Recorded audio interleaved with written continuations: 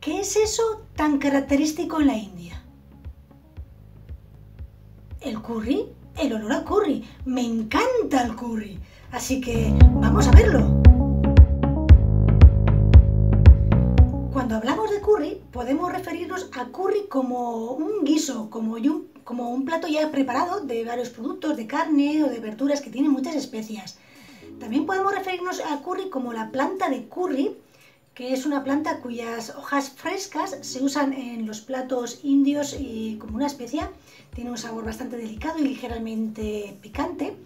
O podemos hablar del curry en polvo, que es un poco lo, más conocido, que es esa mezcla de especias secas que, todos conocemos y que bueno, viene un poco de, de la India. Se sabe que en la India se usaba la mezcla de especies hace más de 4.000 años eh, se sabe que usaban, por ejemplo, el jengibre, el ajo y la cúrcuma junto en, su cocina. Eh, a veces parece que el curry surge cuando los ingleses lo descubren y lo empiezan a comercializar por Occidente, pero no, tiene, tiene más historia. También está lo que se conoce como masala, garam masala, y es un curry igual, solo que más usado en países del norte del subcontinente indio. Eh, el garam masala se usa más en Pakistán, en Afganistán, en Nepal, en Bangladesh. ¿eh? y mm, siempre también de, variando un poco el tipo de especies que usan. Así que hay muchos tipos de curries, ¿eh? dependiendo qué cantidad de especia uses en tu curry o qué variedad de ellas eh, hacia, a partir de la década de los 70 en Occidente empezaron a surgir los restaurantes indios y tuvieron mucha popularidad. en un principio cada cocinero usaba su propia combinación de especias pero eso eh, a la larga no resultaba práctico y poco a poco los restaurantes occidentales usan un curry bastante similar. Es muy práctico también para los cocineros comprar el curry elaborado y hacer sus platos con, ello. No son todos así, ¿eh? hay algunos que tienen su secreto y le dan un toque especial a su cocina y es un secreto que guardan de padres a hijos. ¿Y qué especias lleva el curry? Pues son especias que son muy conocidas.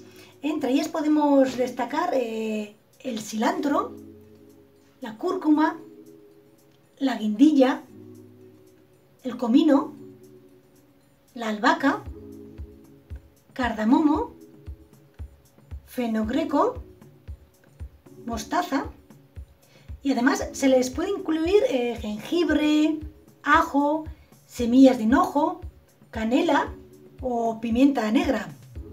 Famoso el curry de Madras, ¿eh? que tiene un tono más rojizo. Para conseguir ese tono rojizo se utiliza un poquito más de chile o incluso se le puede añadir un poquito de pimentón.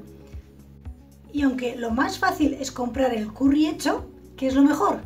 Pues que lo hagamos nosotros mismos. Es muy sencillo. Solamente hay que coger unas semillas. Por ejemplo, podemos coger las semillas de cilantro, de comino, de hinojo unas semillas de mostaza y unas semillas de pimienta negra, por ejemplo, y las ponemos a calentar en una sartén con un fuego no muy alto para que se vayan tostando. Y lo dejamos así pues unos 10 minutos. Eh, después eh, lo sacamos y podemos machacarlos con un mortero o con un molinillo de café.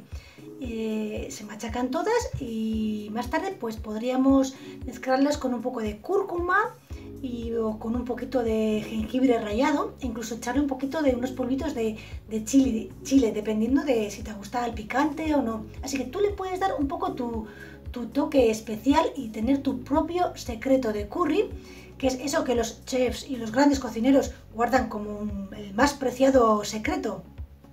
Bueno, pues que aproveche y que disfrutéis de vuestro curry y que sepáis además que las especias son muy saludables.